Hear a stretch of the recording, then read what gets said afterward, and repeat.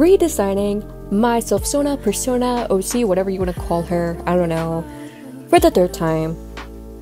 But you guys are gonna see the first two designs first, because why not? I hate this design. I'm sorry, I just don't like it anymore. I don't know why. Probably because, you know, like, I don't remember when I made this. I, I think I made this in like around the beginning of the year. But like she was supposed to be like a Gyaru self-sono or whatever. And I was like, you know what, never mind, because I'm going to show this to my mom and she's gonna be like, she looks weird. So I kind of just like changed her up a bit and honestly, I don't know, like the anatomy, whatever, I don't know what it's called. It looks weird in the face or something. I hate it and I, I really don't like the hair. I'm so glad I'm not keeping this design anymore or whatever. But I actually don't hate it that much. But like overall, it's not one of my favorites and I feel like I could do better. Okay, now with this design, I actually don't hate it. I think it's cute, whatever. It's like nice. I feel like I just could have done more, which is why I redesigned it, but I don't know if you noticed, but there is no speed paint in the background. And that's because like I had another phone which had like this drawing and the other one that you just saw had them saved in there, but that one my phone broke. So the only drawings I had saved were the ones I posted, which is why the other speed paint came from TikTok because that's where I posted it. But yeah, overall, I don't really hate this. I felt like I just could have done more, so I guess that's why I just decided to redesign it or whatever. Okay, this drawing did not have to take as long as it did. It took me like 21 hours, which I don't understand why because it's not even that big of a drawing. But it's probably because of how many times I kept redesigning the hair and the eyeballs. And as you can see here, I like the face. I wanted to make her like smile more on one side but I kind of just gave up on that. And I was gonna do a side ponytail at first for her hair because I was like, that's cute. Why not do that? And I was gonna give her like this top, as you can see, like off shoulder. I forgot what it's called. And again, she is Gyaru. I forgot to mention that on my second drawing. That like all of my personas, self-sonas, whatever, they will be Gyaru because I am Gyaru and I am a Gyaru artist, like I draw a bunch of Gyarus. But um, that was like the final hair design that I went for. I showed it to my mom, like the hair. I was like, yeah, this is my hair. Not my hair, but you know.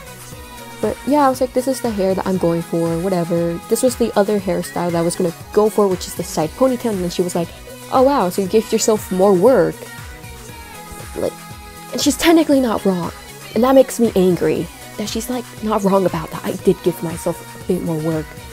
But um yeah. Am I proud of this design? Kinda. Do I like it? Yes. I gave her green eyes. I don't have green eyes. Do I care about that? No. I showed this to my friend before I colored the eyes. I was being like, what eye color should I give it? She was like, oh, green. I was like, okay, green it is. Honestly, this drawing kind of pissed me off a bit because like the face anatomy, like I kind of noticed it was a bit off. Like, I mean, it is stylized a bit in a way, but I didn't want it to be like that. So like I had to like change it a bit, which I did. Am I proud of it still? Not really. Do I care about it though? No, I'm done with it. I'm not gonna I'm not gonna do more touch-ups on it. This took me 21 hours. Why am I going to go back? And honestly, rendering the hair and like shading whatever, that killed me so much because it made me realize that I completely forgot how to render hair and like I just color it.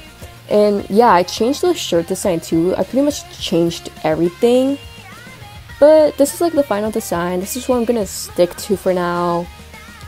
I feel like I could have done better and since this is my self Sona persona OC, whatever, I am going to draw her multiple times.